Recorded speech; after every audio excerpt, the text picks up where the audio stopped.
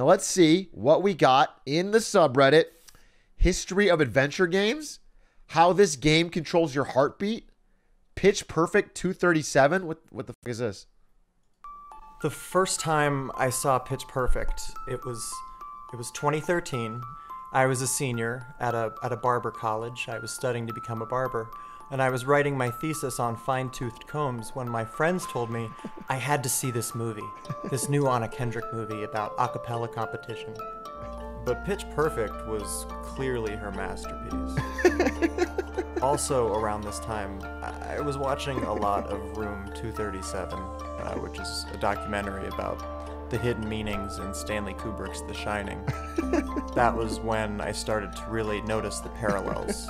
Pitch Perfect has nothing to do with Becca or Jesse or Chloe or Aubrey. It's a film about and in protest against 9 11. What do, what do you mean in protest against? like, why would you need to be a hidden protester of 9 11? Everybody hates 9 11. It's not a, it's not like a crazy take. The Treblemakers, the all male group, they do a choreography of an airplane. Okay. There's a sign in the crowd that says acapella is my co-pilot and the Barden Bellas come out dressed as flight attendants so then i went back and i started doing the math so the Treblemakers come out and they have nine guys Okay. nine remember that number then the Barden Bellas come out they have 11 Yeah, I figured. yeah. Okay. I mean, there's So, some there's Pitch something here. Perfect is about 9/11. So it's kind of a great scene in the movie. Everyone's singing "Party in the USA," and and then they stop singing "Party in the USA" because their bus runs out of gas. But it's also because there was a party in the USA up until, say, September 10th, 2001, when the Bush administration decided that it was time to get more gas, i.e., oil. People don't realize this, but the entire screenplay is a palindrome. That's not true. That's not Kendrick true. wants us to see something backwards so that we can understand it forwards. Take the song, turn the beat around. I think what Kendrick's doing here is asking us, nay, telling us to literally turn the beat around. Turn beat around, and you get Taeb. One Google search later, and the first result is Hassan Taeb, the head of the intelligence bureau for the Army of the Guardians of the Islamic Revolution in Iran. Kendrick is waving her arms at us, telling us that we have it wrong. 9 11 was not perpetrated by the CIA. If anything, it seems like 9 11 was a carefully coordinated attack by Muslim extremists known as Al Qaeda. That's not the. That's already the commonly accepted. Is a- but think about what song everyone else sings. Uh huh. Kelly Clarkson's Since You Been Gone. Kelly Clarkson, aka American Idol. Yes. aka American Idol, aka We Did Nothing to Stop 9 11.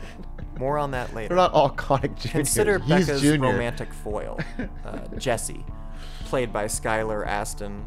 Take their two names. Skylar Astin Lipstein equals Judd Asher Nelson.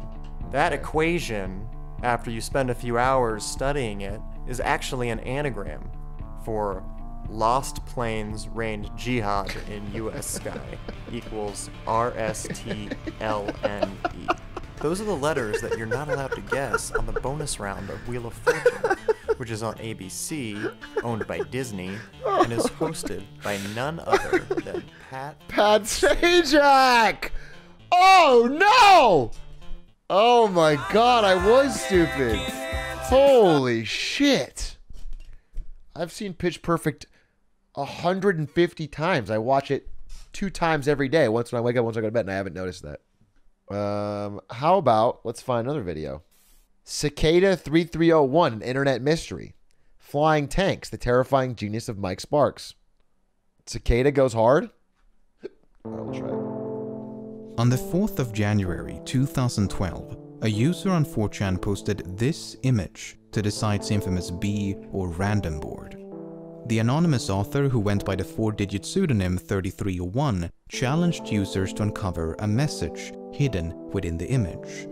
unbeknownst to those who stumbled across it, someone had just set in motion one of the most elaborate scavenger hunts the internet has ever seen.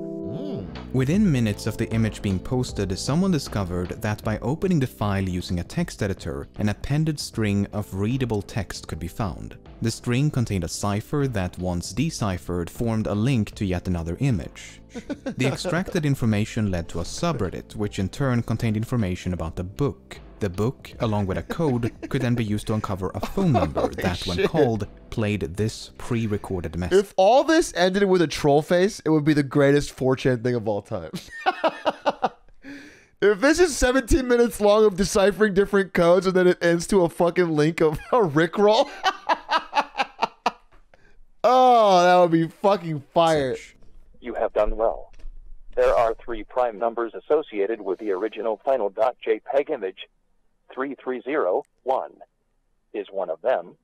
You will have to find the other two. Oh my god, this is Multiply insanely all three of complicated. these numbers together and add a dot .com on the end to find the next step. Good luck.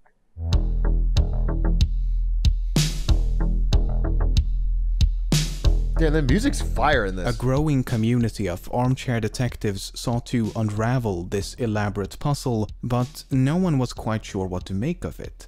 Some naturally dismissed it as an elaborate joke, while others perceived its complexity as evidence against it being the work of a mere troll. Before long, rumors began to circulate that this could be the work of some secret society or intelligence agency, with the intent of recruiting individuals proficient in cryptography, steganography, and other related fields.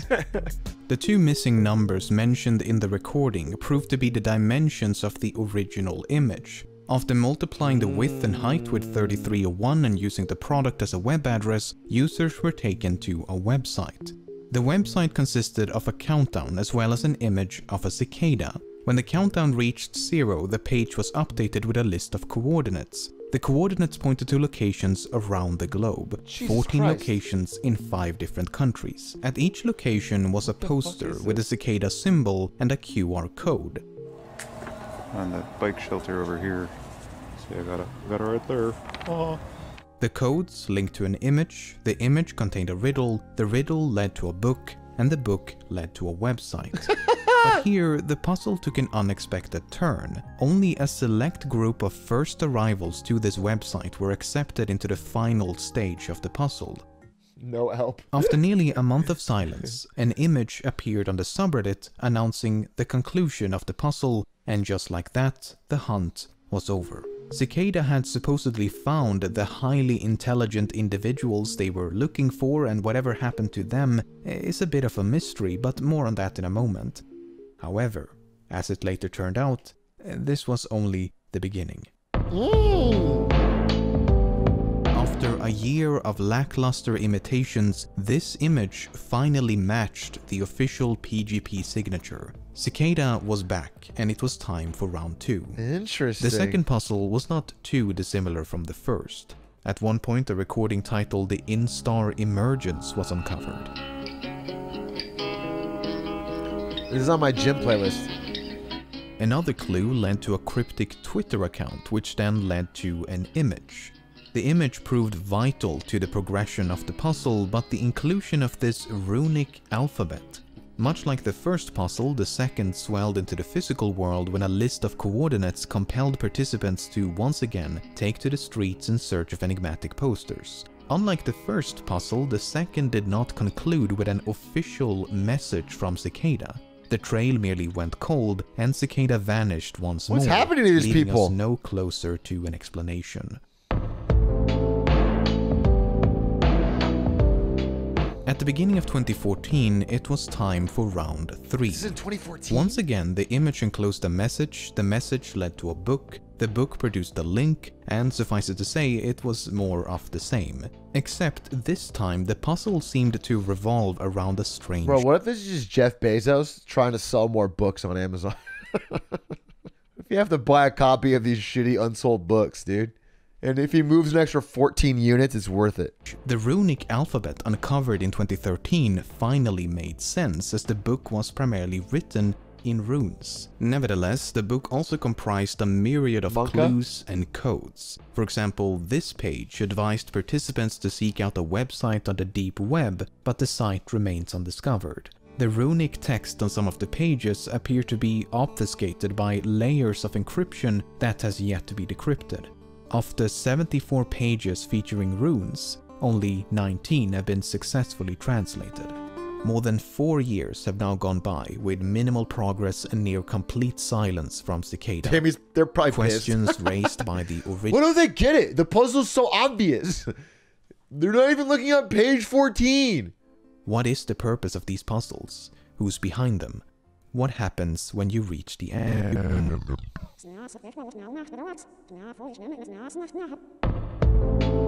What? Is this part of it? Many assume Cicada 3301 to be an alternate reality game designed by a corporation to promote a new service or product. What kind of fucking alternate reality game goes on for four years before announcing the product? There's no shot. It's the worst marketing I've ever heard. The- Cyberpunk. Shit. It could have been Cyberpunk, dude. If we choose to believe some of the leaked information from the private end stage of each puzzle, then we do gain some insight into who this group might be. For example, at the end of the first puzzle, finalists supposedly received this email.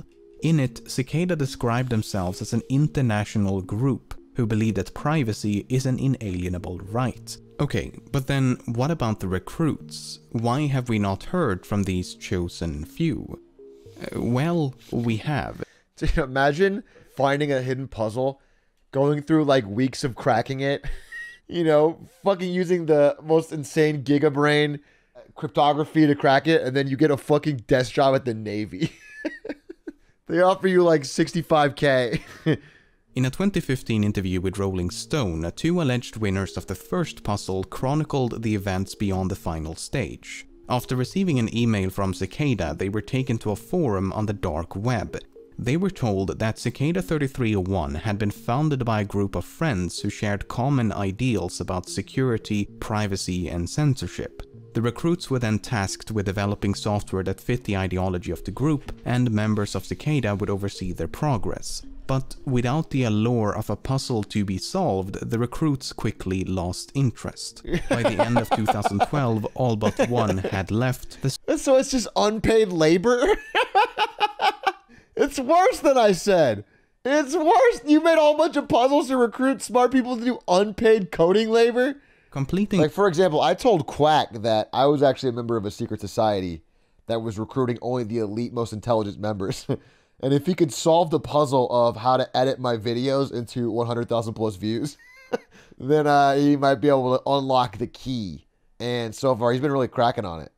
Nox Populi later contacted other winners of the second puzzle to compare notes, and their experiences were identical. In his own words, all the stories were the same. We were invited to join 3301, then something happened, and silence followed a request for patience.